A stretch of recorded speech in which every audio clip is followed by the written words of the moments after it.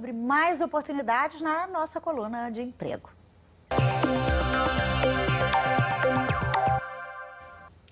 18 bilhões e 200 milhões de reais. Um valor e tanto, né? Esse foi o faturamento do setor de produtos e serviços ligados aos animais de estimação em 2011. Um aumento de 65% em relação a 2010. E a expectativa é que o faturamento passe dos 21 bilhões em 2012.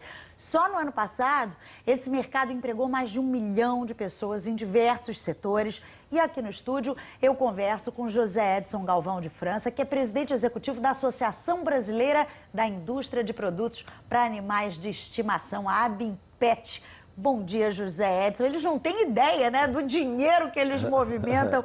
Aí eles já fazem bagunça na casa das pessoas, mas essa indústria realmente por trás é, do mercado de animais de estimação é surpreendente. E eu fiquei impressionada com uma informação: o Brasil é o segundo maior mercado nesse setor no mundo. Exatamente. Bom dia. Bom dia. Obrigado pela oportunidade. É, e o principal impulsionador desse mercado de 101 milhões de animais, que é o segundo maior do mundo. Uma seja, população é, gigantesca. Um para cada dois brasileiros. É verdade, a gente é, já tem quase é, 200 milhões de habitantes. E que nos leva a ser o segundo maior em número de gatos do mundo também, não só em faturamento. Cães e gatos. Gente, Perdendo só, só para os Estados Unidos, que é é, por volta de 400 milhões. Lá é um para cada americano, um pois animal é. para cada Agora, americano.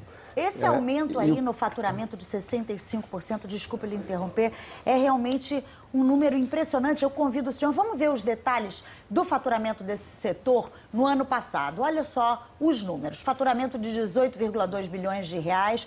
Isso em alimentação, 46% desse valor, em venda de animais, 33%, serviços de uma maneira geral, 11%, equipamentos, acessórios, né? aí entra a coleira, o pratinho, a caminha, 5%, e remédios e veterinárias, 5% também, o que é um número impressionante, quer dizer, é muito mais com a venda do animal, com a é, indústria é. do animal, do que realmente com o tratamento médico, vamos dizer o assim. O principal impulsionador desse mercado exatamente a, a, a, o reconhecimento da, da, importância da relação do homem com o animal. O respeito, e, né? Melhoria de qualidade de vida e o respeito e os cuidados que se obrigam a quem passa a, a ter um animal em sua casa.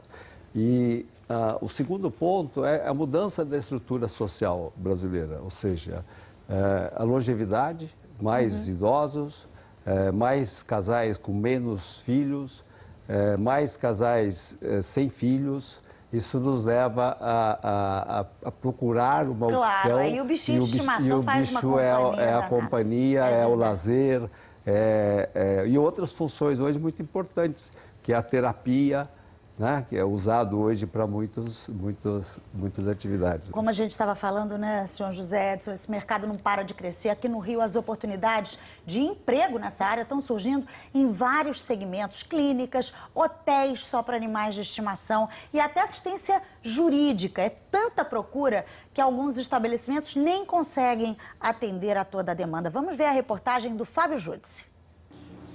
Um tratamento diferenciado, moderno com muitas possibilidades. Um clube para atendimento de animais que fica em Copacabana. Além dos consultórios, conta com um laboratório de análises clínicas, centro de terapia intensiva, CTI, com veterinários presentes 24 horas por dia e equipamentos sofisticados para exames auxiliares, como a ultrassonografia veterinária. Além desses exames, nós fazemos tratamentos dentários, eh, entre os quais são os tratamentos de canal, algumas restaurações de resina composta, quando o dente é fraturado, e alguns tratamentos de gengiva que são ah, os de incidência maior nos caninos e felinos. O clube tem até assessoria jurídica